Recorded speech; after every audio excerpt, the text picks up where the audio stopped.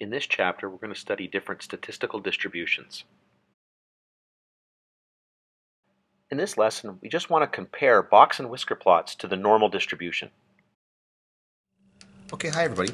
So this is going to be just a, a quick little video just to well, draw your attention to something, okay? There's really not even a lot of math we're going to do in this. I just want to make sure that, that this is there for you to consider. Kind of as we, when you're done with this, you kind of look at this and go and move away from here and think, hmm, okay, next time I, I see this, I'll, it's something I'm gonna I'm gonna think about here. One of the defining features of the normal distribution is this is this bell-shaped curve. Okay, got this beautiful little bell curve, um, and it it when we cut it with uh, the mean and then we go out standard deviations. Okay, it cuts it beautifully uh, in these little um, intervals here where 68% is within one standard deviation of the mean, 95% is within two standard deviations of the mean, 99.7% of the standard devi- of the population is within three standard deviations of the mean. Okay, so and that's true of any population that's normally distributed. Now, how steep this is can vary from population to population. Okay, so that'll vary based on the size of the standard deviation, but that that shape, that overall bell shape, will stay. Now, one of the things that's really interesting about this, this bell-shaped curve, is the symmetry. Okay, 50% of the data is below the mean and 50% is above the mean. Now, that should start to kind of ring a bell here. Like, I mean, we, ha, I just realized what I just said there. Anyway, bell curve, ring a bell. Anyway, that was a terrible math joke. Um, but there's there's something familiar about this. So what it says here is, as illustrated above, the proportion of the population within one standard deviation is roughly 68%. Okay, okay. Well, maybe that's not quite the the clear connection that I want, but it's close to something we've seen be, before here. Okay. In some ways, this corresponds to a box and whisker plot. Because remember, the box and whisker plot, we identify the median and then we go to the lower quartile and the upper quartile. Now, granted, this is supposed to represent 50% of the data.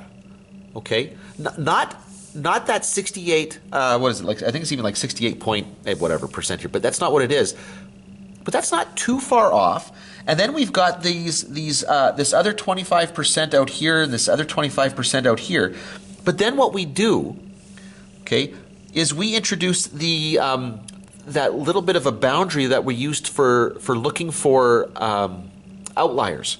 So we get the interquartile range. And remember, we multiply this by 1.5. And if we come back that amount here, then these are your outliers. Okay? If we go forward that much here, and then out here, these are your outliers. And so we can sort of compare that to the bell curve. And in fact, that's what I want to do.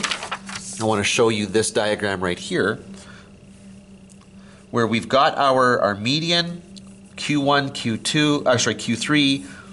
You can sort of see how they match up. That's 50% of the, the data, but this is 68% if I go one standard deviation out here. But now if I go, uh, if I go the first quartile minus uh, 1.5 times the interquartile range. I get out here, and that is roughly, take a look at that here, 2.7 standard deviations back from the mean. Forward, that's 2.7 standard deviations forward from the mean. Okay, where the mean is straight down the middle there. So I can I can take that that uh, box and whisker part, uh, plot here, and there's some nice kind of comparisons in, in in terms of the, the, the distribution of data on the, the normal distribution or the bell curve and what we're seeing here. Now you got to play with it a little bit to make it perfect, but, but still. Now, this is really the important point that we want to get to. And I'll just read this off for you here. This suggests that if our box and whisker plot uh, possesses symmetry about the mean, that there's good reason to think that the data might be normally distributed. However, that's not necessarily the case. I'm going to show you an example of, of a distribution that is actually going to have a very similar um, box and whisker plot that will be uh, symmetric, but I'm still not I'm still not normally distributed. Here, I've got two peaks in the data. Okay, okay. So there's there's these these two parts where there's a lot of data here, a lot of data here, and it drops off in between.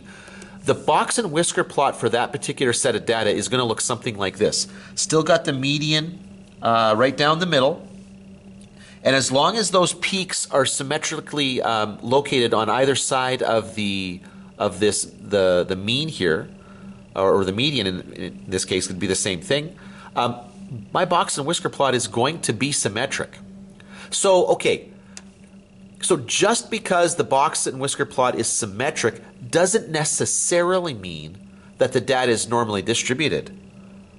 But it is a pretty good indication that it might be, and that it could be something that you should be looking for uh, when you see a problem that, that has that property to it.